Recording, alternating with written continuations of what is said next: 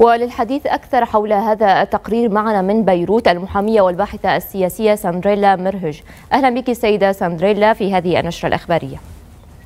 أهلا بكم. شكرا. سيدة ساندريلا بحسب تصريحات لافروف التي شدد فيها على ضرورة تحرير إدلب من المجموعات الإرهابية لأن تركيا لم تنجز مهمتها بفصل الإرهاب. برأيك لماذا تماطل تركيا في تنفيذ هذه المهمة؟ لأن لأن هنالك أساسا عدم توافق على توصيف الإرهاب بما يتعلق بمجموعات الكرد فتركيا تعتبرهم إرهابيين فيما تركيا فيما روسيا لا تعتبر ذلك. وما صدر من تصريح عن الوزير الخارجية لافروف بحول أن تركيا لم تفصل فيما بين جبهة النصرة كإرهابيين وما بين المعارضة المسلحه هو خير دليل على ما نذكر.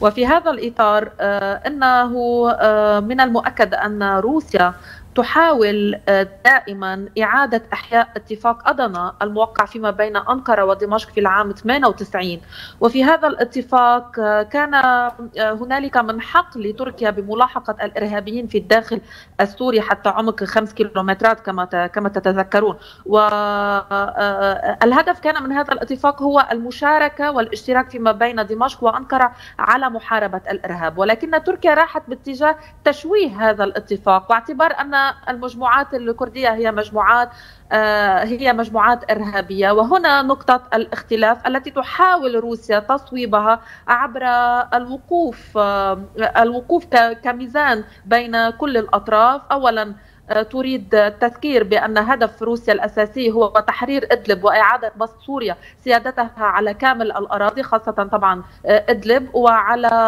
حفاظها أيضا وتفهمها لمخاوف تركيا تجاه أمنها. وأيضا تريد حماية الكرد خاصة أنها أعلنت في السابق أن ما يحصل هو نتيجة تخلي الإدارة الأمريكية عنهم. وتذكر بأن الكرد ليسوا الفصائل الإرهابية المطلوب محاربتهم ولكن الإرهابيين الآخرين كجبهة النصره.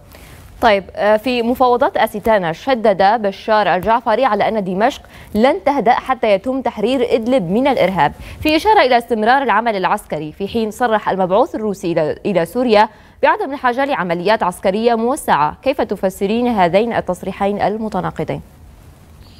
لطالما أعلنت روسيا بأن الحل في في سوريا من المستحيل أن يكون عسكريا ولكن بالمقابل الميدان أثبت على أن الحل العسكري هو الباب للوصول إلى التفاوض السياسي ووجود يعني نوع من الحلول الحلول السلمية التي تسعى إليها. أيضا سوريا ولكن بظل ما يحصل في إدلب واحتلال الفصائل الإرهابية لهذه الأرض السورية، طبعا إن من حق سوريا أن أن تذهب باتجاه الحسم العسكري، لا سيما أن هنالك إشكالية أخرى أيضا تقع بأن تركيا ودون وجه حق تقوم باحتلال اراض سورية. وهذا أيضا عمل من أعمال العدوان. وعلى سوريا أن تكافحه ولها كامل الحق بتحرير أراضيها.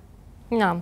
أشكرك جزيل الشكر. السيدة سندريلا مرهج المحامية والباحثة السياسية كنت معنا من بيروت.